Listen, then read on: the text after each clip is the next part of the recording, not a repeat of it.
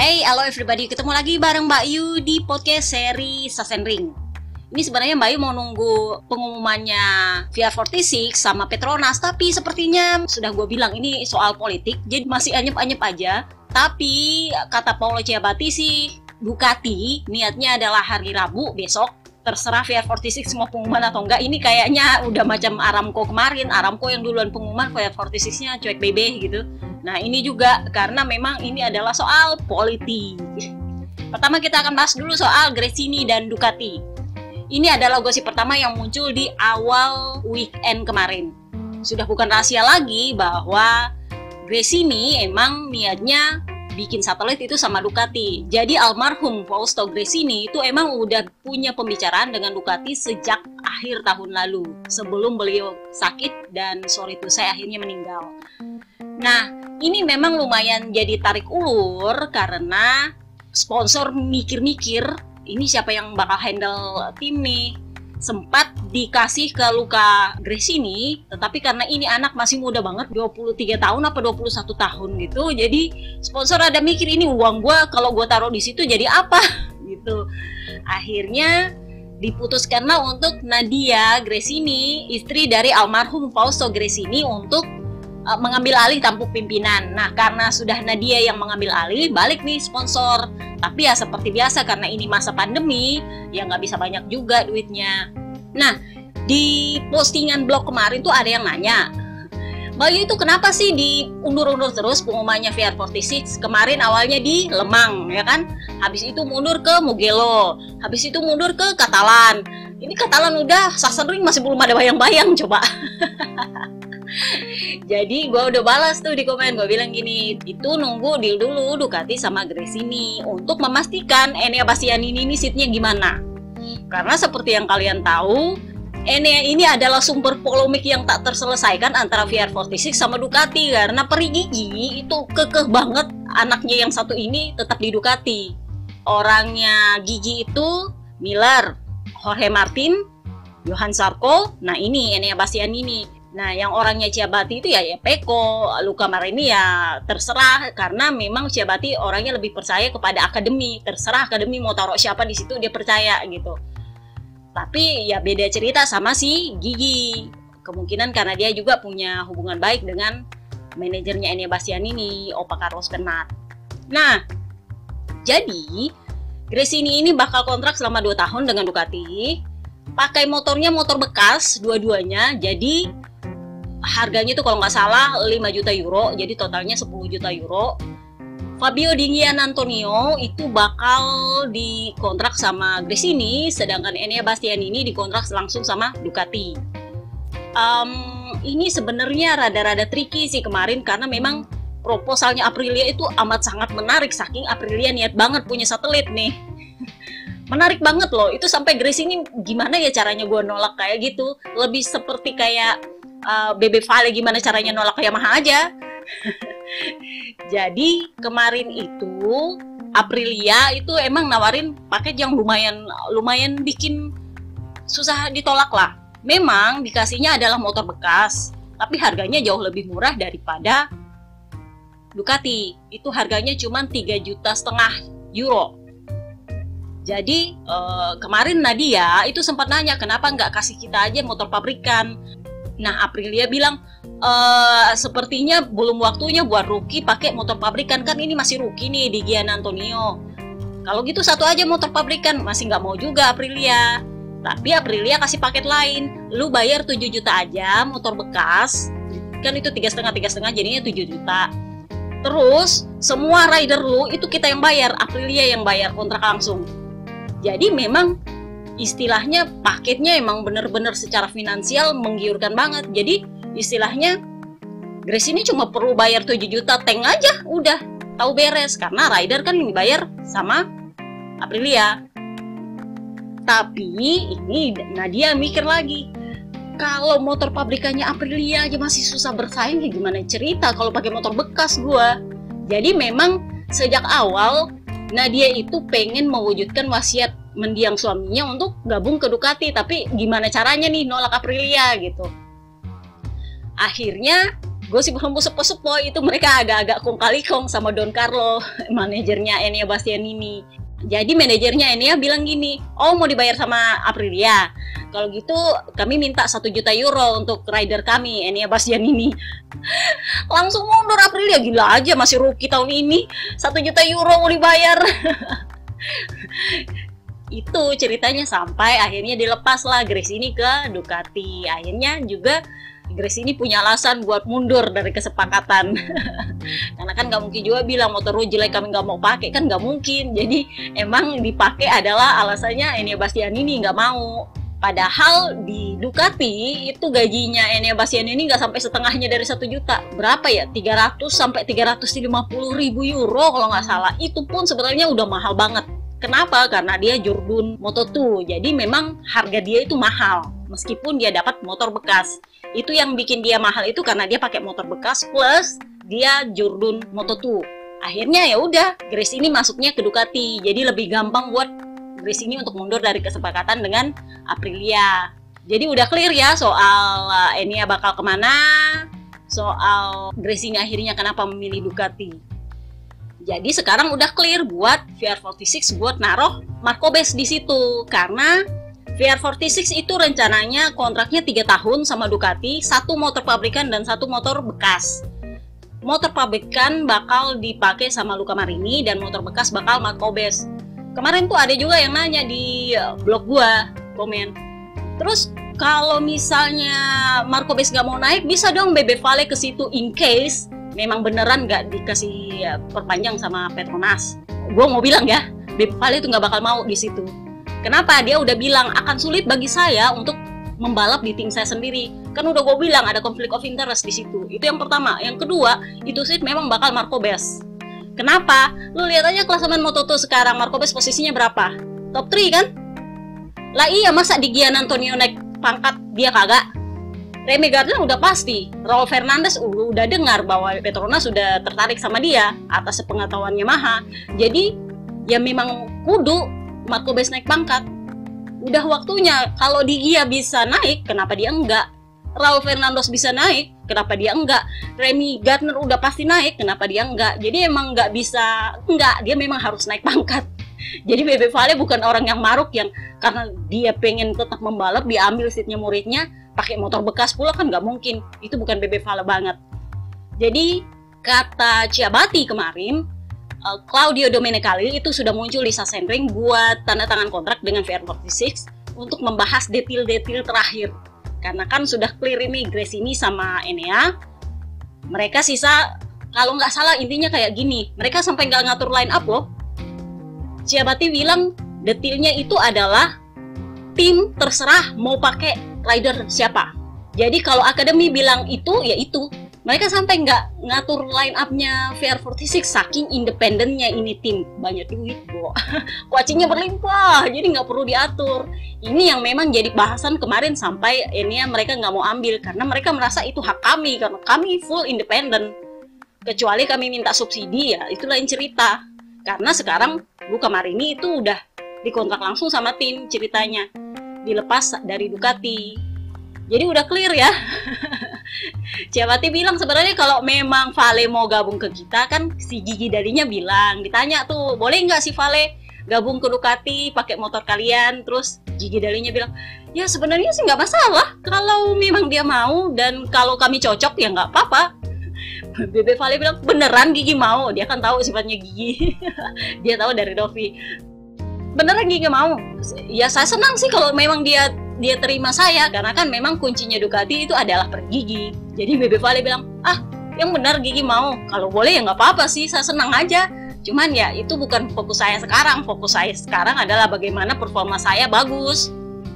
Yang itu masih nantilah dipikirkan banyak hal detail yang saya mau mau pikirkan dulu katanya. Terus ditanya emang kenapa? Kan lu punya tim di Ducati dan memang detailnya menurut Ciabati adalah terserah tim mau pakai rider mana karena itu kan tim independen yang full independen jadi mereka nggak bisa ngatur line up-nya siapa gitu. Bebe Vale bilang kayaknya akan sulit deh untuk saya gabung di sana karena kami punya sistem pengkaderan sendiri dan saya nggak bisa mencampuri itu. Dia itu lebih ke profesional dan lebih mikir anak-anaknya daripada dia sendiri. Kadang-kadang gue pikir ini orang kurang apa sih kalau soal profesionalitas? gitu Terus kenapa BB Vale masih menunda juga soal VR46 kan sudah clear nih Grace ini berarti mestinya dia bisa pengumuman dong. Nah BB Vale bilang saya nunggu dulu Petronas sama Yamaha. Kenapa? Lebih kepada dia respect sama Petronas. Masih ingat apa kata dia kemarin di Mugello? Saya nggak akan gigit piring makan saya. Jadi itulah kenapa dia ingin Petronas mengumumkan dulu kerjasamanya dengan Yamaha, baru dia sebagai tim paling bontot dan paling tidak diperhitungkan bahkan lahir, baru pengumuman. Ya kan tim dia itu sampai seri Qatar nggak ada yang tahu bakal lahir ini tim, bener nggak? Jadi emang bener-bener Yamaha mandang enteng, semua orang mandang enteng dia, serius. Tapi pada akhirnya jadi juga. Dan tiba-tiba dia nggak perlu pengumuman yang pengumuman siapa? Aramco. Pokoknya partner dia. Dia mah nggak santai aja di range jadi memang dia respect sama Petronas meskipun Petronas ini brojol kemarin karena rekomendasi dia untuk menyelamatkan Franco Morbidelli dari bubarnya Mark VDS di Honda. Jadi memang ada tangannya bebek di situ untuk lahirnya Petronas ini. Sebenarnya gue agak-agak kok kurang terima kasih ya ini tim sama dia. Sorry to say ya. Nah itu dia sekarang pun masih tetap respect meskipun dia tahu ada begitu banyak gerakan di belakang punggung dia dia tetap kasih respect sama Petronas biarin dulu Petronas pengumuman sama Yamaha baru dia pengumuman dengan Ducati. Nah ini juga yang jadi polemik Kenapa? Karena kan Petronas pengumuman sama Yamaha ini tertunda karena belum bayar motor. Kan kalian udah dengar itu kasus dari podcast-podcast sebelumnya. Nah, kemarin waktu di Mugello gue udah bilang kan, ada total loss nongol tuh lebih kepada sponsor untuk bayar motor. Jadi, kesepakatannya berhembus sepoi-sepoi adalah satu motor pabrikan yang bakal untuk Morbidelli itu dibayar dan disubsidi oleh Yamaha dan satu motor bekas yang bakal dibayar oleh Petronas. Tapi harganya nggak semurah motornya mobil sekarang, lebih tinggi. Itulah kenapa perlu sponsor karena buat nombokin harga motor 2021 yang saat ini dipakai itu harganya lebih mahal daripada motor mobil yang spek A itu. Gitu. Jadi uangnya sponsor yang kemarin yang nombok itu ditambah-tambahin dan segala macam itu jadinya cuman motor 2021 sama Yamaha nggak dikasih motor pabrikan. Nah, inilah yang gue bilang ternyata Yamaha ada andil di situ. Yamaha nggak mau kasih dua motor pabrikan, artinya kan kalau dua motor pabrikan di Petronas jadinya turunnya empat motor pabrikan Yamaha nggak ada motor bekas. Nah itu yang Yamaha nggak mau. Yamaha tetap kekeh harus ada satu motor bekas dan itu jelas bukan untuk BB Vale. Jadi kalian udah ngerti, Yamaha emang tidak berniat untuk memberikan Vale motor kalau dia sudah berniat untuk tidak memberikan Vale motor, berarti memang mereka tidak mengharapkan BB Vale membalap tahun depan di Yamaha. Dan kalau kalian dengar podcast di Katalan, seri Katalan kan gue udah bilang ada gosip bahwa Petronas nelpon Raul Fernandez untuk nanya ini kalau naik kelas putus kontrak berapa penaltinya. Stefan Pirar kan kemarin sempat uh, komplain tuh di podcast tes Katalan, gue udah bilang Stefan Pirar komplain dia bilang uh, sebenarnya itu kurang etis sih. Kenapa? Karena ini KTM ini adalah keluarga dengan para ridernya. Kami ingin mereka tetap membalap bersama kami dalam jangka waktu yang lama. Jadi istilahnya karena Raul ini masih rookie dan Remy Gardner sudah pasti bakal naik MotoGP, mereka ingin memplot bahwa Raul Fernandez ini jurdun untuk setelahnya Remy Gardner karena kan Remy Gardner di, di ekspektasi bakal jurdun tahun ini. Nah, Raul Fernandez ini maksudnya dalam tanda kutip ditabung buat tahun depan buat mereka itulah kenapa KTM sebenarnya nggak mau lepas. Tetapi gosip berhembus sepoi-sepoi Raul Fernandeznya mau naik kelas. Jadi memang dia udah kayak Jorge Martin kemarin pengen naik kelas. Karena kapan lagi mumpung ada tawaran dapatnya motor yang ya lumayan bagus why not? Faktanya adalah Quartararo amat sangat kuat di klasemen saat ini. Dan timnya yang pakai pabrikan yang sama itu nawar Raul Fernandez eh lu mau nggak gabung sama kita pakai motor yang dipakai Quartararo sekarang loh. Ya mau dong Raul Fernandez kapan lagi? Karena kalau mau nunggu tahun depan belum tentu lu dapat seat. Dan kalaupun lu dapat seat belum tentu itu seat yang bagus. Lagian kalau mau naik ke KTM in fact ya belum terlalu bicara lah KTM meskipun memang udah sempat menang, udah sempat mendominasi di akhir-akhir race ini. Nah, jadi karena Raul Fernandez memaksa untuk putus kontrak, KTM akhirnya kabarnya mau melepas tapi dengan penalti diturunin yang awalnya satu juta euro diturunin jadi 500 ribu euro karena memang ridernya yang pengen lepas sendiri gitu. Seperti yang gue bilang di edisi podcast tes Katalan bahwa kemungkinan Petronas akan kesulitan untuk bayar penaltinya.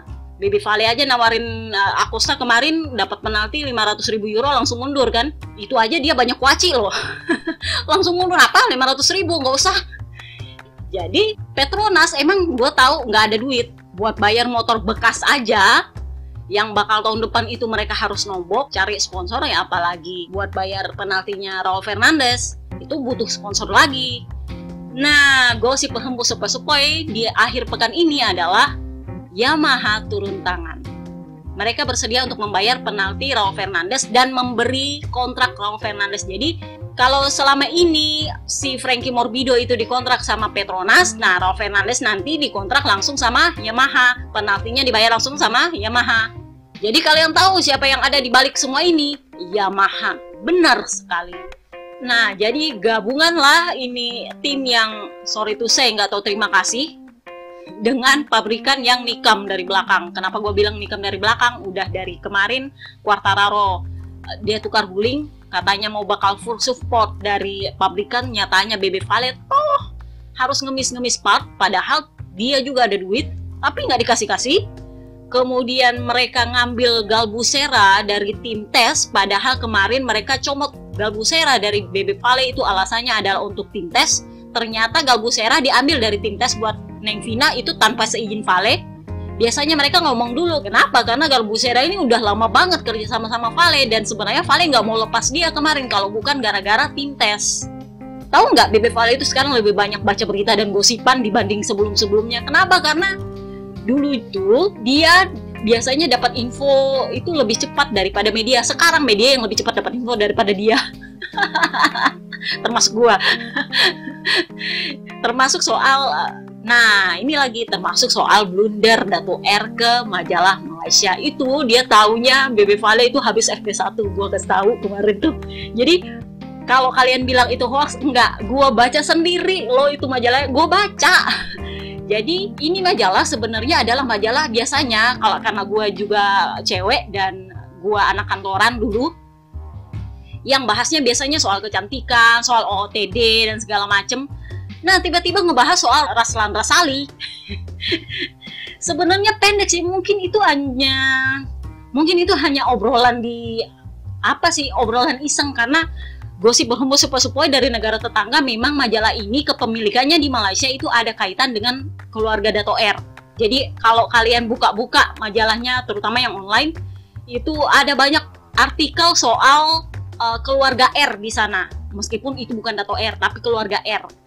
Nah, kemungkinan ini hanya wawancara apa sih kalau gue bilang wawancara off the record.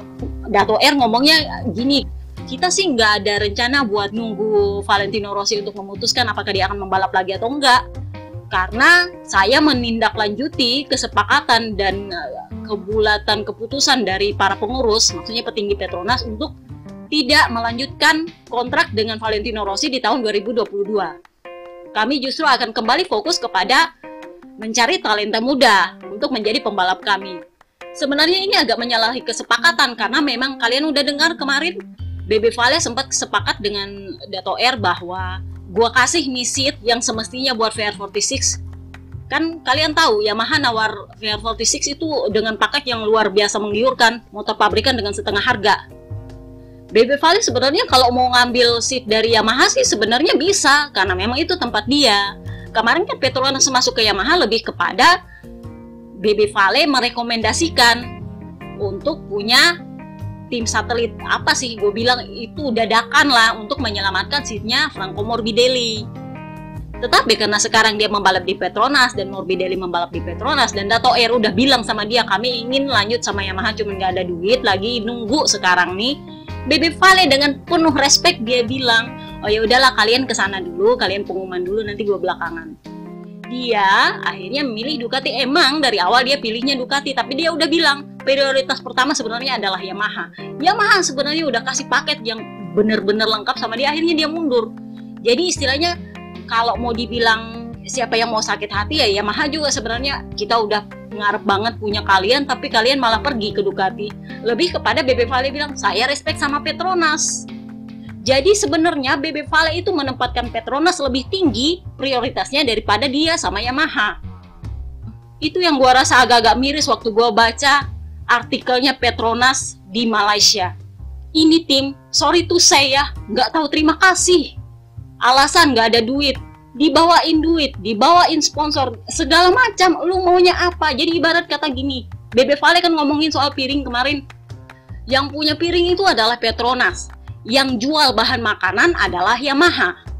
Nah, Petronas bilangnya gini ke Bebe Vale, kita mau kasih lu makanan yang bagus dan enak biar lu enak membalap, tapi kita nggak ada duit nih. Akhirnya Bebe Vale bilang, oh ya udah gue bawain sponsor, gue kasih lu uang belanja, lu beli itu bahan-bahan biar kalian bisa masak, bisa menyajikan sesuatu yang enak di atas piring gue dan gue membalap dengan enak. Nah, yang masalah apa? Yang belanja nggak beres, yang ngasih bahan juga nggak beres. Kenapa? Karena Yamaha juga setengah-setengah hati jual barang. Kalian nangkep? Jadi ini sebenarnya kalau gue bilang konspirasi sebenarnya rada-rada konspirasi sih.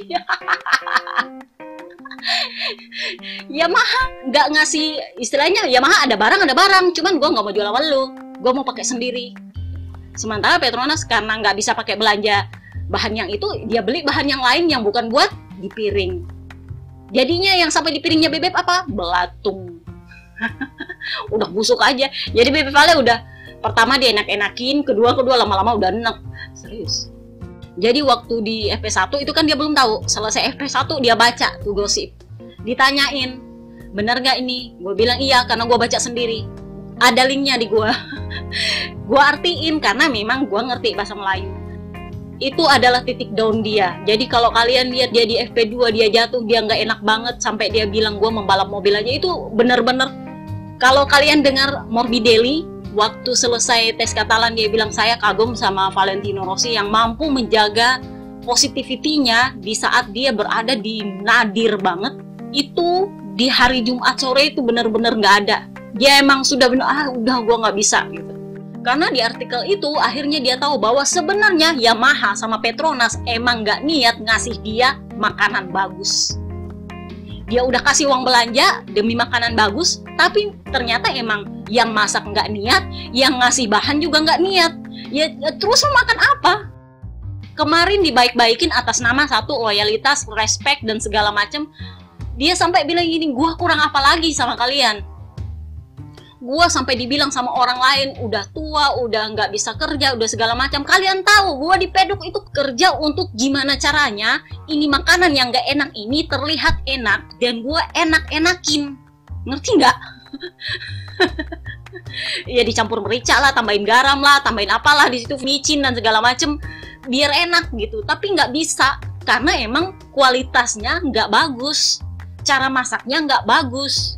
Ya mau diapain juga. Nah, itulah kenapa waktu di FP2, selesai FP2 itu dia bilangnya apa? Ini dia sebenarnya menunjukkan itu untuk Yamaha dan Petronas. Nah, kan kalian masih ingat di awal tahun kemarin Bebe Vale udah bilang, saya tujuannya adalah untuk memperpanjang kontrak dengan Petronas. Tapi ya itu kembali lagi apakah Petronas sama Yamaha punya seat untuk saya. Kemudian Petronas sudah bilang, kalau memang kamu mau perpanjang ya tunjukkan performa kamu. Itu kan Petronas sudah mulai ngeles-ngeles tuh. Itulah kenapa Bebe Vale jupalitan bolak-balik kiri kanan buat bikin performanya bagus. Ibarat kata, emang makanan di piring lu itu nggak enak tapi udahlah dibikin enak taruh tambahin merica, tambahin micin, tambahin garam lah segala macam, kecap lah segala macam. Pokoknya gimana caranya biar ini enak nih barang nih. Jadi Bebe Vale bilang ini biar dia apa-apain udah nggak bisa nih. Karena emang yang ngasih bahan nggak niat, yang masak juga udah nggak niat. Emang maunya biar dia pergi ninggalin piringnya. Sih? Jadi ya Bebe Vale udah bilang ini. Tujuan saya kemarin untuk tetap melanjutkan membalap adalah karena saya ingin merasakan tetap bersaing nggak harus menang tapi setidaknya ya di top 5 lah bolehlah naik podium di saat yang tepat pokoknya merasakan senangnya berada di area kompetitif Tapi kalau pada akhirnya saya finishnya 16, 20, ya kayaknya nggak mungkin membalap dengan kondisi seperti itu. Jadi ya mending gue balapan mobil aja lah ya. Saya memang sudah lama tertarik dengan balapan mobil meskipun ya nggak harus Dakar juga karena kalau rally Dakar itu kan lebih ke fisik. Saya lebih suka balapan mobil yang di track saya sudah lumayan lama melakukan itu dan saya pikir itu akan menjadi yang menarik bagi saya. Dia sampai udah ngomong soal balapan mobil, saking putus asanya dia baca itu artikelnya Dato R beneran. Kalau soal Raul Fernandez kemarin minta penalti tinggi, dia yakin Petronas nggak bakal bisa bayar. Tapi setelah dia tahu Yamaha bakal bayar, dan Dato R udah ngomong gitu ya udah percuma dia dia mau apa lagi udah nggak bisa waktu Jumat malam itu dengan kondisi mental yang amat sangat down udah udah nggak bisa dipositif positifin lagi sama dia. Dan dia muncul di hari Sabtu itu udah dengan udah nating tulus. Percuma juga gue ngapa-ngapain jadi apa yang ada ya gue terima aja. Udah kayak gitu aja Pepe Vale. Uh, dia sampai bilangnya gini udah terlalu banyak yang nekan dia untuk dia pergi dan dia merasa ya mungkin emang gue harus pergi. Dia udah mikirnya kayak gitu sih sekarang tapi kita belum tahu nah nanti lihat aja tanggal 23 gimana ya. Jadi seperti itu sih kondisi mentalnya Bebe Vale di hari Jumat. Sebenarnya nggak ada isu signifikan sih di hari Jumat itu selain soal Bebe Vale dan gosipnya Dato R blunder karena memang Petronas akhirnya membantah soal wawancara Dato R itu. Dia bilang, "Oh, Petronas, kami saat ini belum menentukan soal line up Eh, bekerja dengan rider veteran seperti Valentino Rossi itu adalah sebuah kehormatan karena dia mampu membangkitkan rasa ingin membalap dari orang yang nggak mau membalap dan itu adalah sebuah pengecualian. Tetapi kami berharap bisa kembali mendukung anak-anak muda. Jadi dia nggak jadi dia nggak membenarkan atau dia membantah soal BB Vale nggak bakal perpanjang kontrak, tetapi dia membenarkan bahwa mereka pengen punya rider muda lagi. Jadi mereka nggak bilang soal bahwa itu hoax atau enggak, tapi ya mencoba untuk menetralisir suasana. Baby Valley itu sampai kecewa banget baca itu artikel serius. Dia emang udah dengar bahwa Yamaha bakal bayar penaltinya Raul Fernandez, tapi bicaranya Dato R di majalah Cosmo Malaysia itu emang bener-bener menyakiti hati dia. Jadi buset gue sampai lepas penawarannya Yamaha demi lu terus lu giniin gue. Itu sih pikirannya dia kemarin waktu hari Jumat. Nah, Petronas itu ngeles, mencoba menyalahkan semuanya kepada Rossi kembali. Dia bilang apa? Rossi itu sekarang di pedok cuek banget. Udah nggak peduli. Ya iyalah mau ngapain lagi? Sudah nggak mau ngomong soal kontraknya, sudah pokoknya udah nggak ngomong lah sama orang Petronas katanya. Maksudnya dia cuma ngomong sama uh, kru chiefnya, kru chiefnya ngomong sama kru Petronas. Dia udah nggak mau ngomong lagi jadi menurut gue ya lu expect apa udah digituin? Percuma juga dia ngomong lagi kan? Dia ada di titik nadir dia yang istilahnya bilang gue kurang apa lagi sama kalian? Sampai gue ditikam kayak gini. Kemarin gue kasih seat kemarin gue kasih seat buat VR46 dengan proposal yang semenggiurkan itu ke Petronas karena gue respect sama Petronas karena gue udah bilang tolong tunggu gue bikin keputusan. Tapi ternyata kalian tidak menunggu saya untuk bikin keputusan. Kalian justru nelpon Raul Fernandez dan justru Yamaha turun tangan untuk bayar penaltinya. Jadi ya emang dia bilang ini kong kali kong di belakang gue banyak banget jadi dia itu kalau ngomong cuma sama kru chiefnya kru chiefnya nerusin ke kru Petronas. Dia udah ngomong-ngomong macam-macam bodoh amat. Udah kayak gitu sekarang mental dia sejak hari Sabtu sampai Minggu sampai sekarang. Gue sebenarnya gimana ya kalau gue bilang ini nanti kita bahas lagi soal balapan. Jadi di hari Sabtu itu dia udah mulai ya udahlah serah gitu di FP3 FP4 dia mulai membaik. Mungkin karena dia punya mental udah bebannya udah lepas udah nating tulus udah nggak ada guna macam-macam jadi dia lebih ringan buat ngegas. Dan dia lebih fokus untuk udah gue jalani aja yang apa yang ada sekarang. Menurut gue itu lumayan mental yang lumayan membantu sehingga dia tidak terbebani untuk gue harus perpanjangan, gue harus perpanjangan. Karena dia tahu udah nggak bakal perpanjangan. nah, yang jadi bahasan di hari Sabtu, kalau hari Jumat bahasanya adalah soal Vale dan Vale dan Vale, hari Sabtu pembahasannya adalah soal kintil mengintil. Tapi kali ini nggak melibatkan jurun rakor karena itu adalah sirkuit dia, jadi dia nggak perlu ngintil di situ. Yang jadi masalah adalah uh, sama ini ya Bastian ini. Jadi di Q1 itu ceritanya si Petrus lagi hot lap nih. Terus dia pas nongol eh ada ini Bastian ini di lain dia. Jadi mau nggak mau dia harus banting setir hampir jatuh dia ke gravel. Lah dia kalau waktu di tengah. Alah fuck ngapain lu di situ? Dia sampai bilang saya nggak tahu apa yang ada di pikiran dia itu ngapain dia di lain saya? Saya lo lagi hot lap akhirnya jadi nggak bisa hot lap saya. Yang kayak gini nih mesti dipenalti. Ya emang akhirnya ini kena penalti karena faktanya aturannya adalah kalau lu lebih lambat daripada rider yang akan muncul di belakang lu, lu mesti minggir. Itu aturannya ya. Itulah kenapa Enia Bastian ini di penalti karena dia memang menghalangi line yang lagi hot lap. Sementara Enia Bastian ini tentu saja ngeles. Tapi sebenarnya menurut gue agak-agak kurang sopan sih kata dia. Kata dia kayak gini. Kenapa saya di penalti? Saya nggak terima karena saya juga lagi hot lap. Yang di Q2 aja nunggu antrian towing itu banyak banget. Kenapa mereka nggak di penalti? Saya yang sementara hot lap, saya yang di penalti saya itu juga lagi hot lap Oliveira lewat kok. Yang lain juga bisa lewat kok. Kalau mau bilang trek itu sempit kok mereka bisa menyalip saya? Terus kenapa masalahnya dengan Petruk? Kenapa Petruk nggak sesimpel menyalip saya aja masalahnya adalah line Petruk sama dengan line dia dan Petruk lebih cepat dari dia. Jadi memang logikanya adalah dia yang harus minggir. Ya merugikan dia juga karena itu artinya hot lap yang katanya hot lap dia itu ya mesti batal juga. Gitu. Juga karena tempatnya Oliveira menyalip Enia Bastian ini bukanlah di tempat Petrus mendapati Enia Bastian ini. Jadi emang waktu dan tempatnya berbeda, nggak bisa disamain sih kalau menurut gua. Yang agak-agak gua kurang suka adalah Enia bilang gini, itu Petrus udah dari awal musim dia tidur, kenapa sekarang baru dia bangun? Sebenarnya agak-agak nggak enak sih untuk untuk ukuran seorang rookie menurut gua. Emang gua sempat dengar selentingan waktu kita masih ada IG kemarin ada seorang inteler yang bilang ini ini rada-rada songong orangnya dia sampai bilang eh, nggak uh, mau masuk VR46 karena dia merasa dia lebih baik kalau nggak di akademi gue kemarin sempat mikir ah nggak gitu kali orangnya karena memang dia masih sempat masih sering kok main sama anak-anak akademi masih main di range cuman pas kemarin gue kok kok ada kurang sopan ya nih anaknya? Tapi ya udahlah ya mungkin karena memang dia punya manajer yang emang ya you know lah Don Carlo. Jadi mungkin nurun ke ke rider dia gitu. Sama kan kayak si Ian One kemarin tuh emang nggak mau merasa bersalah sama sekali. Jadi mungkin pengaruh manajer dia juga sih gue nggak ngerti nah dia juga ditanya soal motornya jadi dia bilang gini, dia merasa nggak fair dan nggak masuk di akal kenapa dia yang performanya lebih bagus dari Luka Marini dapatnya motor bekas di Gresini sementara Luka Marini yang performanya lebih di bawah dari dia eh dapat motor pabrikan tahun depan.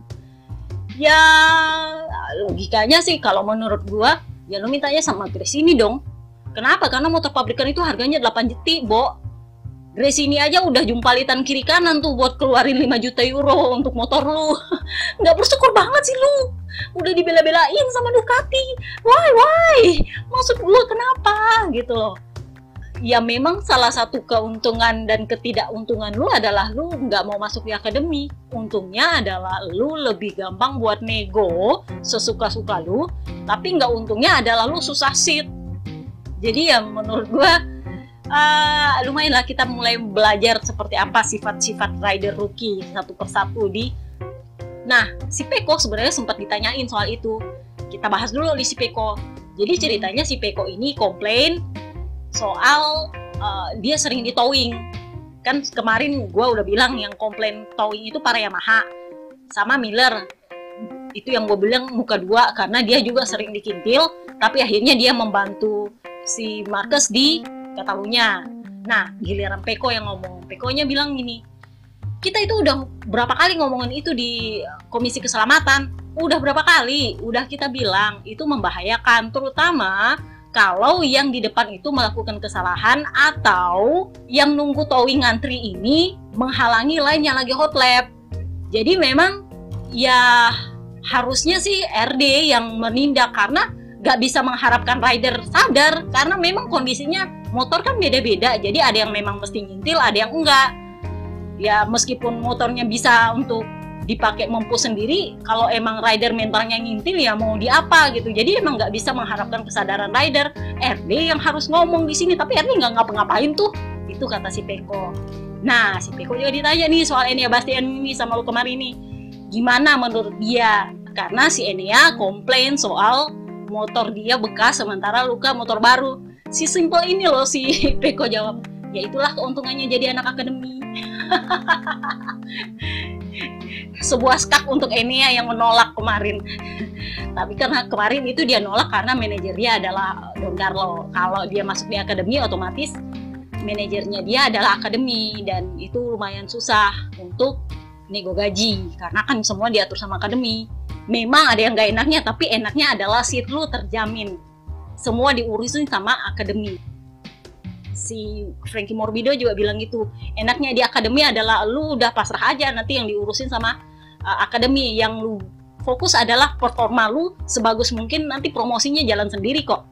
Itu kalau Peko sama Frankie bilang soal keuntungan di akademi dan memang faktanya seperti itu.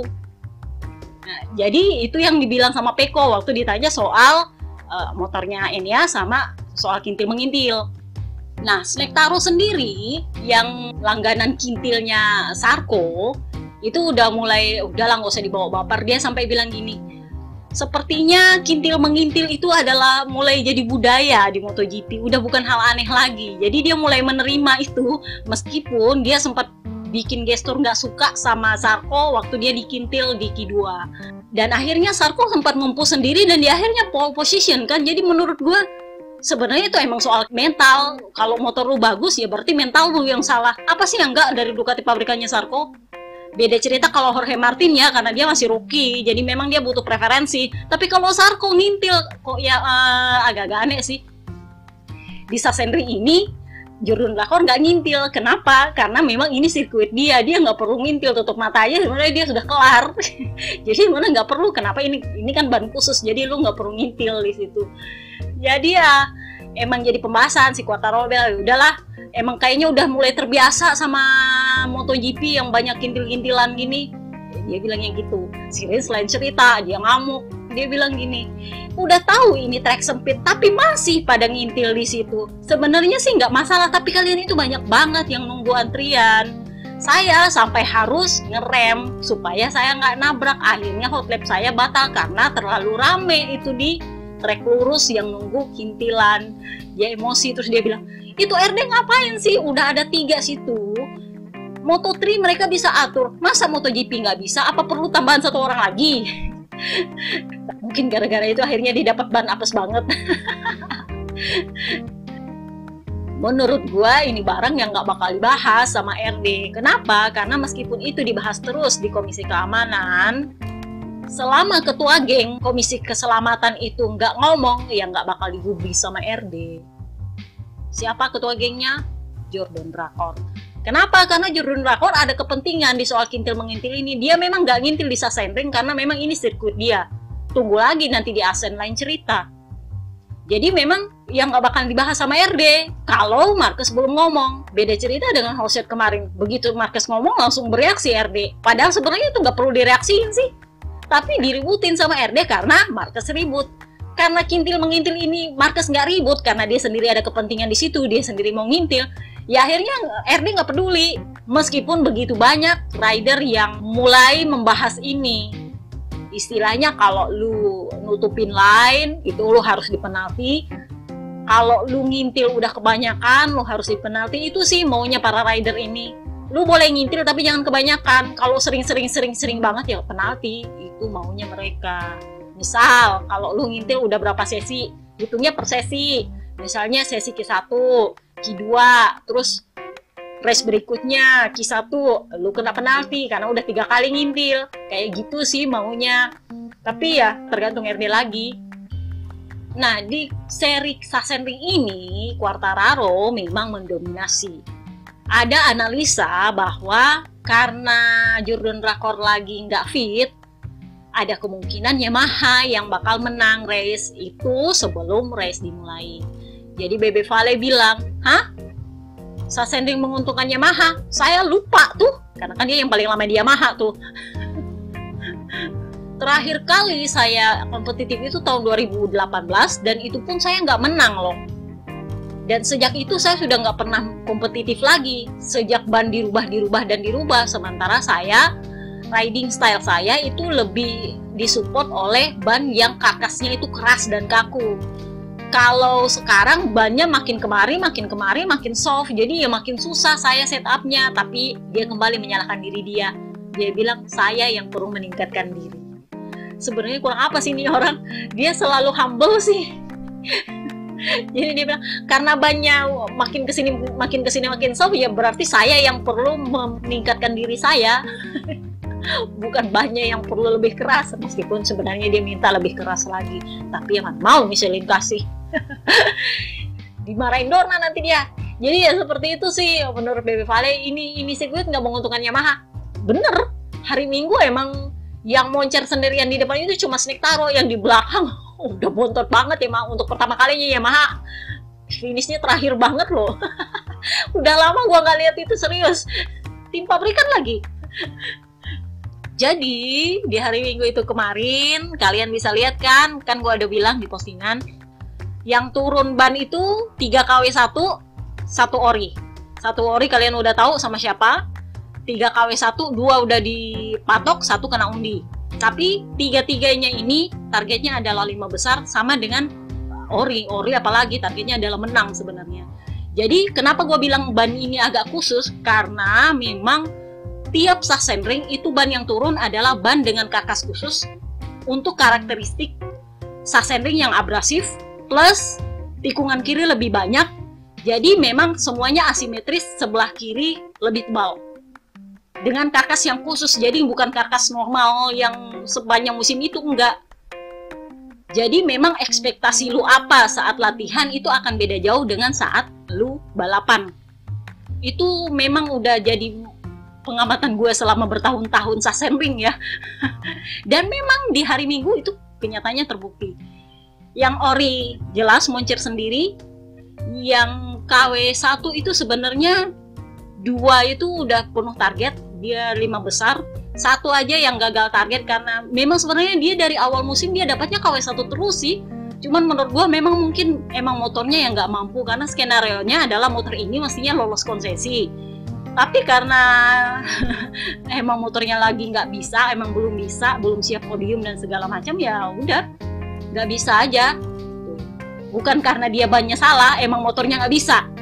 Beda ya ceritanya. Jadi seperti yang gue bilang uh, Ori selesai finish dengan baik dua KW itu finish juga yang satu uh, gagal.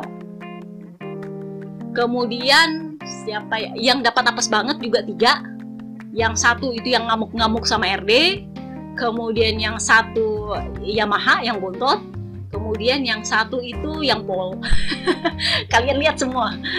Yang satu itu yang Pol jadi yang lain itu ban KW2 dan yang biasa. Jadi nggak terlalu mendominasi nggak terlalu moncer juga. Terus si Snake Taro dapat apa? Dia tuh dapat KW2 dengan bantuan device dia. Jadi itulah memang kenapa Yamaha ini bisa dibilang seperti udah mulai kayak Honda yang moncer sendirian itu cuma sebiji. Kalau di Honda yang moncer sendirian itu cuma Mark Marcus, di Yamaha mulai tahun ini itu yang moncer sendirian adalah Snake Taro. Jadi Bebe Vale habis habis race itu bilangnya kayak gini. Sekalian kalian tahu kesulitannya Yamaha itu kalau start dari belakang apa. Jadi selama ini sebenarnya bukan salahnya Bebe Vale kalau dia agak susah buat maju kalau sudah start dari belakang. Karena memang Yamaha itu susah kalau sudah start dari belakang. Nah sementara kalau dia sesi latihan dan segala macam kan kalian udah tahu masakan dan bahan masakannya dia untuk dimakan itu emang udah nggak bener. Jadi emang ancur-ancuran aja dari sesi latihan udah hancur. Giliran hari Sabtu lumayan bagus, warm up bagus, ya res hancur lagi. Kalau dapat ban apes banget dari awal lap udah hancur-hancur itu ban. Jadi dia bilang ya eh, itulah kondisinya kalau Yamaha mulainya dari belakang akan susah buat nyalip. Karena kita itu nggak ada akselerasi di trek lurus. Kalaupun mau nikung itu harus dekat banget dari lawan tepat di depan titik pengereman baru kita nikung. Kita bisa nyalip di tikungan. Tetapi begitu sampai di trek lurus lu akan berharap supaya yang di belakang yang lu tikung itu nggak nggak nggak dapat lu lagi. Jadi ya emang itu kesulitannya Yamaha. Dia bilang ya memang saya tahu Maverick sama Morbidelli juga mengalami kesulitan yang sama. Ya memang seperti itulah M1 terus ditanya tapi itu Snake Taro bisa tuh comeback? Jadi dia bilang memang kalau Quartararo itu bagus dalam hal menggunakan semua device baru yang diberikan oleh Yamaha. Sementara kalau rider-rider lain ini cocok-cocokan karena riding style mereka beda. Kayak gitu sih simpelnya menurut Bebe Vale karena kan dia udah paling lama di Yamaha jadi dia tahu lah selaknya Yamaha seperti apa. Nah untuk saat ini karena Snake Taro yang jadi rider patronnya jadi selama Quartararo oke-oke aja ya terserah rider lain mau nggak mau harus adaptasi sama device barunya. Kalau nggak ya nggak bisa. Sama lah caranya Honda gitu. Nah yang kasihan adalah Neng Vina. Gue kasihan banget sih sama Neng Vina.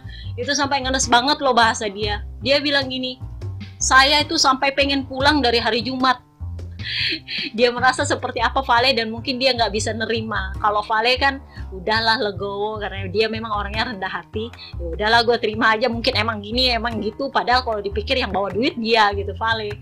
Sementara Neng Vina merasa gue nggak terima nih mesti diginiin. Karena memang dia itu selalu nggak tahu sebenarnya masalah motornya apa. Dan dia itu cuman bilang ban saya itu ambiar banget. Jadi susah buat nyalip dan saya nyalip pun itu kalau sudah di belakang Ducati itu susah banget nyalip. Saya membuang waktu di belakang Enia Bastianini dan Luca Marini dan akhirnya saya menyerah. Udah saya di belakang aja pakai kecepatan normal buat ngumpul data doang. Mirisnya adalah saat ini saya hanya mengumpulkan data untuk Yamaha. Memang menyedihkan tapi begitulah adanya. Gue tuh yang kayak itulah kenapa Galbusera diambil sama Yamaha ke pedoknya Neng Vina. Ternyata buat ngumpul data karena memang Galbusera adalah bicaranya data. Tapi lumayan miris sih jadi dia bilang gini ban belakang saya itu itu geol geol itu dari Portimao. Saya sudah ngomong dan sekarang udah nambah 8 lewat dan masalahnya masih sama-sama aja. Tiap saya tanya kenapa nggak diperbaiki? Terus si kru bilang nggak tahu ya menurut gua. Karena lu bukan Vale dan kru lu nggak sehebat Vale jadi ya sama-sama nggak tahu. Jadi akhirnya jadinya nggak tahu juga. Kalau Bebe Vale kalau dia udah nggak tahu berarti krunya lebih nggak tahu lagi. Tapi kalau dia udah tahu dia pasti kasih tahu krunya ini masalahnya apa. Nah beda cerita kemarin di Petronas dia udah nggak ngomong lagi terserah lah lu mau ngapain sih tuh pokoknya gue bawa aja. Kayak gitu sih kalau Bebe Vale. Waktu hari minggu kemarin dia udah gitu mentalnya jadi ya gitu kasih banget sih Nevina tuh sampai gue bilang dia aja sampai mikir gitu sama Yamaha coba apa apa kabar BB Vale yang udah Petronas, udah ban, udah Yamaha, udah hatersnya. Jadi gue ngerasain lah gimana Vale punya mental itu bener-bener hebat di situ. Jadi memang masalahnya Neng Vina itu adalah ban kemarin makanya gue bilang dia dapat yang apes banget. Biasanya meskipun dia agak ketinggalan di belakang itu biasanya dia masih bisa comeback. Kalau tahun lalu tapi sekarang dia emang bener-bener nggak bisa comeback kalau udah dari belakang. Nah kemudian si Morbi. Morbi ini sebenarnya nggak ada masalah dengan ban karena dia memang nggak dapat yang apes banget. Cuman masalahnya adalah karena dia motor jadul. Dia bilang susah banget nyalip. Itu sedangkan Maverick Vinales saja yang dia lebih cepat daripada saya di trek lurus itu susah nyalip saya apalagi saya jadi bilang ini emang susah banget buat nyalip apalagi kalau udah di belakang Ducati aduh susah banget dia bilangnya kayak gitu. Tapi dia nggak bawa baper sih karena memang dia orangnya cool nyantai dan ya udah emang motor gua segitu ya segitu. Gua bukannya nggak usaha tapi ya emang udah gitu. Nah yang masalah ban kemarin adalah para Ducati. Si Peko masih dapat KW2 dan dia diunggulkan oleh motornya. Itulah kenapa dia bisa comeback meskipun ya menurut dia itu gelasnya setengah kosong. Kalau lu optimis kan lu bilangnya setengah penuh. Kalau dia setengah kosong. Dia bilangnya kayak gini itu tujuh lap pertama itu ban saya ancur-ancuran loh. Saya sampai mundur dulu ke belakang mengumpulkan tekad saya baru saya muncul lagi ke depan satu persatu. Karena saya merasa ini sudah berapa kali saya race saya nggak podium. Dan saya mau podium paling nggak saya ke depan lah. Itulah kenapa dia maju sampai di depan. Nah masalah yang sama diterima oleh Jack Miller dia udah bilang sendiri juga saya juga bingung ini barang kenapa? Karena ban dia itu emang susah buat dibawa cepet. Dia bingung sendiri nih mesti diapain. Pokoknya para Ducati kemarin itu bingung. Nah yang lebih bingung udah gue bilang yang dapat ban apes banget siapa? Pole position. Johan Zarko. Dia bilang itu di lap-lap awal gue pikirnya masih bisa. Eh nggak taunya udah setengah mati. Susah banget nyalip. Susah banget buat maju pokoknya udah kacau lah di ban saya. Ya ya emang susah kalau lu dapatnya ban apes banget ya lu di belakang. Akhirnya ngumpul lah dia sama Rins. Rins juga kan jadi mundur ke belakang. Itu dapatnya apes banget. Yang dapat ban apes sama KW2 ya Bebe Vale, Peko, Taka, si Alex Marquez itu dapatnya juga ban ban KW2 sih dia bukan ban apes. Jadi ya ya biasa-biasa aja. Dibilang maju-maju banget enggak, mundur-mundur banget enggak. Ya gitu-gitu aja. Terutama karena memang motor mereka agak susah buat akselerasi di Sachsenring. Jadi emang Sarko tuh bilang, saya sampai merasa terhianati sama ban. terhianati gua gue rasa agak lucu sih bahaya gue terhianati sama ban. Ini ban bagus banget waktu sesi latihan. Kenapa jadi ambil gini pas race? Tapi ya gitulah itulah faktanya bahwa memang sebagus apa pun lo di sesi latihan kalau di race lain cerita itulah makanya Bebe Vale waktu habis balapan dia bilang apa? Emang kalau ban yang baru ini kadang lu bagus kadang lu enggak kadang lu bisa meningkat kadang lu malah turun jadi ya emang nggak ada yang pasti kalau race Bebe Vale udah pengalaman yang itu. Meskipun dia nggak sampai menuding banget kayak Kaisar Honda United kemarin soal Michelin. Tapi dia bilang gini dia dengar juga sih soal Neng Vina bahwa Neng Vina merasa dia frustasi. Sekarang tugasnya cuma buat ngambil data dan dia merasa udah nggak didengarkan sama Yamaha. Dia sampai bilang dari hari Jumat ini dia pengen pulang. Jadi Bebe Vale bilang Finales ini orang baik. Saya sudah jadi rekan dia lama waktu masih di tim pabrikan. Dia itu rider yang baik dan mau belajar. Semoga nanti di Asen dia membaik lagi. Itu aja sih membesarkan hati aja sih Bebe Vale karena dia tahu juga Yamaha nggak bakal dengar dia. Jadi dia cuma bilang gitu, mudah-mudahan nanti di Asen dia membaik lagi karena di Asen di atas kertas menguntungkan Yamaha. Dia bilangnya sih seperti itu. Tapi ya mau dia apa lagi? Emang emang kayak gitulah faktanya di Yamaha udah mulai mirip-mirip kayak Honda dan jadi mungkin dalam hatinya Bebe Vale ya lu baru digituin juga udah berisik gua lu udah bertahun-tahun digituin namanya Yamaha jadi ya Bebe Vale bilang ya pokoknya semoga semuanya lebih baik lah di Asen karena di Asen itu di atas kertas lebih bagus untuk Yamaha. Itu kata Bebe Vale. Jadi sekarang kita bahas soal Alex Marquez dan Petrus. Jadi itu kan ceritanya ke mana Alex Marquez tuh jatuh tuh di tikungan mau masuk tikungan. Terus nyeret si Petrus. Sempat kalian lihat mereka agak-agak argumentasi di pinggir trek. Ya pada akhirnya Petrus nggak nyalain Alex dia nyalainnya siapa? Iker Lekona, teman satu tim dia. Ini agak-agak lucu sih. Jadi uh, dia lebih memilih untuk gak menyalahkan Alex Marquez. Jadi dia bilang gini, Alex Marquez itu jatuh karena dia ada di belakangnya Iker Lekona. Jadi Alex Marquez bilang saya jatuh karena saya ngerem karena si Iker Lekona tiba-tiba ngerem. Jadi daripada saya nyeruduk dia, saya ngerem. Tapi karena saya ngerem, akhirnya mau nggak mau karena sementara nikung ya tergelincirlah ban nyeretlah si Petrus. Jadi si Petrus bilang ini semua gara-gara Iker Lekona sih. Karena memang dia bilang dari awal balapan Iker Lekona itu agresif banget. Mungkin dia lagi mencontoh uh, rider lain yang memang bagus di Sachsenring dia mencontoh Mark Marquez karena memang Mark Marquez agresif sejak awal balapan. Jadi Iker Lekona agresif banget. Dia menyalip kemudian mengerem di tikungan. Remnya itu tiba-tiba dan lambat dan dalam. Jadi kalau lu di belakang dia mau nggak mau lu ngerem kaget karena dia ngerem kaget. Nah si Alex Marquez ini membuntuti Iker Lekona karena Iker Lekona agresif. Jadi dia ngikut aja di belakang buat istilahnya ngetren sih sebenarnya kalau menurut gue dia ngintil ngintilin si Iker tetapi karena Iker Lekona tiba-tiba ngerem di depan mendadak dia juga kaget dia ngerem lah juga jadi si Petrus bilang itu emang salahnya Iker karena dia agresif sekali. Coba dia lebih sabar. Mungkin kita sebenarnya sama-sama finish lebih bagus di balapan. Nah kalau sekarang udah saya jatuh, dia juga finishnya di belakang. Bukan di depan. Jadi menurut dia besok-besok kalau saya mau balapan saya mau menjauhi Iker Lecuona deh terserah dia mau bikin apa pokoknya kalau ada dia gue jauhi deh. Nggak mau di sekitar dia karena kalau di sekitarnya Iker pasti aja dia jatuh kayak gitu sih katanya si Petrus. Ini juga sebenarnya kenapa jadi memanas masalah antar teammate ini karena memang mereka lagi rebutan seat si Petrus sebenarnya emang sudah hampir pasti perpanjangan dengan KTM. Si Iker udah pasti untuk dikeluarkan, tetapi KTM minta performa. Kalau gitu lu perbaiki dong performa lu supaya kita ada alasan untuk mendepak Iker karena Iker pasti punya argumen. Loh, dia juga jelek performanya kenapa cuma saya yang didepak? Kayak gitu sih. Jadi menurutnya KTM ya perbaikilah performa lu. Nah masalahnya karena dia jatuh sekarang jadinya dia emosi sendiri. Udah kemarin dia ribut sama Enia Bastian ini, ini lagi dia malah jatuh. Nah sekarang kita bahas soal Jordan Rakor.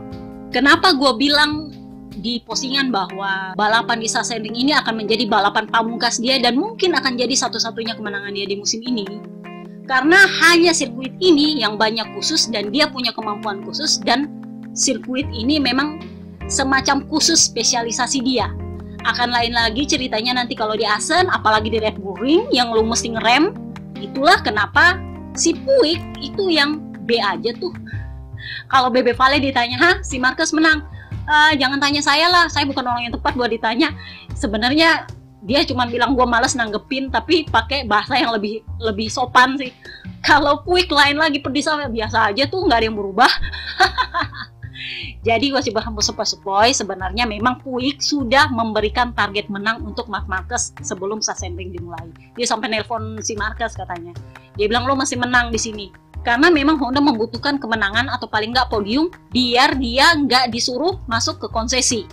Karena ini udah udah dua tahun mereka pacak klik. Memang sih tahun lalu ada yang podium, mereka Alex Marquez, mereka Paul, tapi ya emang belum pernah menang lagi. Nah, jadi memang menurutnya Puig lu harus menang di sini karena ini memang sirkuit yang secara fisik menguntungkan lu dan secara sejarah memang lu selalu menang di sini. Jadi mestinya lu bisa menang di sini. Itu katanya si gosipnya sih si Puig nelpon itulah kenapa Mark Marcus emang ya saya paling nggak berusaha untuk podium lah. Kalau menang ya nggak nggak harus juga tapi saya berusaha untuk podium jadi memang itu adalah target dia di Sassenring. Memang karena bannya juga ban khusus. Dan ya semacam memang segala sesuatunya mendukung. Meskipun Sassenring panas kemarin itu dia akan tetap menang. Mungkin memang jedanya atau gate-nya agak lebih kecil, tapi dia akan tetap menang di sana. Itu setahu gua. Bukan cuman karena oh dia dibantu cuaca, enggak. Meskipun panas kemarin itu dia akan tetap menang. Cuman gate-nya mungkin akan lebih kecil karena dia udah capek. Nah di Sassenring ini juga karena tikungannya lebih banyak kiri, jadi lengan kanan dia itu nggak terlalu banyak dipakai, bahu kanan dia itu yang infeksi itu nggak banyak dipakai, jadi bisa lebih lumayan maksimal ya setelah istirahat untuk dipakai di asen nanti, karena di asen nanti itu akan menguras fisik dia, itu karena itu sirkuitnya Yamaha belok-belok-belok dan itu kanan semua, jadi memang itu bakal kalau gue pikir bakal sakit lagi itu tangan dia, jadi memang menurutnya Puig lu harus menang di sini. Karena memang udah gue bilang di tes Katalan kemarin Yokoyama Takeo Yokoyama dengan si Puig ini lagi dalam review oleh petinggi Honda. Karena performa Honda kurang apa sih? Duit lu udah ada pengembangan udah full banget udah semua dikasih kok kalian masih gitu-gitu aja jadi paling enggak satu menang lah gitu selamatkan muka kami tapi si Puig sih reaksi dia kayak gini Marcus menang, saya senang sih untuk dia, tapi itu nggak merubah performa tim. Kami tetap merasa sedang dalam krisis saat ini. Bukan cuma setahun loh, dua tahun. Jadi Mark menang di sini menurut saya itu karena memang dia juara dan memang ini sirkuit yang tidak terlalu sulit untuk dia karena dia memang kondisinya masih belum 100%. Jadi ya biasa aja. lain cerita nanti tuh di Asen. Dan dia belum 100% belum lagi nanti di Asen bakal hujan. Jadi belum tentu akan sebagus di Sassenring lagi. Ya saya syukur dia comeback. Tapi ya itu bukan bukan menggambarkan Honda keseluruhan kata dia. Jadi kalau mau dibilang Marquez menyelamatkan muka Honda ya enggak juga. Karena memang secara total Honda gitu-gitu aja. Sachsenring itu sirkuit spesial untuk Marcus dan Marcus memang sudah hafal di situ dan memang itu spesialisasi dia ya wajar dong dia menang. Kayak gitu sih reaksinya Puy gitu yang udahlah sesinis-sinisnya bebek Vale lebih sinis. Puy coba gue bingung. Gue bingung tuh ABR bakal bakal nyerang dia apa enggak. Tapi emang uh, menurut gue itulah race pamungkasnya buat Mark Marcus akan ada sirkuit-sirkuit yang sangat fisik dan uh, clockwise lagi. Dan itu kalau dia masih jatuh-jatuh dan masih ngeyel-ngeyelan ya bakal seperti biasa lagi dan akan kembali ke kintil mengintil dan akan kembali ke jatuh-jatuh. Kalau mau cari limit ya harus jatuh. Cuman sepertinya ada yang bilang kan gue dengar kemarin bilang katanya udah bagus tuh bahunya. Enggak siapa bilang? Di tes katalan kemarin hancur bahunya itu siapa bilang dia udah fit sampai bisa 80 lap? Enggak 80 lap itu dia paksa karena ada pengawas di situ. Semuanya harus kerja. Jadi mau nggak mau dia paksa bahunya. Itu habis dari situ dia ke dokter. Itulah kenapa dia habis-habisan istirahat dua minggu setelah katalan tuh dia betul-betul istirahat karena emang perlu menyembuhkan bahunya yang sakit. Dan dia diuntungkan oleh Sassenring karena itu tikungan banyak ke kiri jadi nggak terlalu ribet. Kalian lihat waktu balapan dia agak melebar waktu ke kanan itu karena memang bahu dia masih sakit. Bekas tes Katalan kemarin itu masih ada. Jadi satu-satunya cara buat dia adalah mengistirahatkannya kembali sampai sesi asen. Karena asen lagi nanti itu susah lagi dia. Apakah dia bakal 100% menurut gua nggak pernah 100% karena selama ini dia paksa paksa paksa terus. Belum 100 dipaksa belum 100 dipaksa. Jadi emang stuck di belum 100 80 90 80 90 udah kayak gitu aja udah baunya karena dipaksa lagi sembuh dikit paksa lagi. Jadi nggak akan pernah 100% teman-teman kalau kalian mengharap itu. Oke jadi udah ya udah panjang banget men. Sorry banget. Tapi karena emang banyak gosipan dan banyak analisa gue udah see you next time guys. Uh, mungkin di sesi asan atau mungkin kalau BB Vale pengumuman tim. Oke? Okay? have a nice day. Bye bye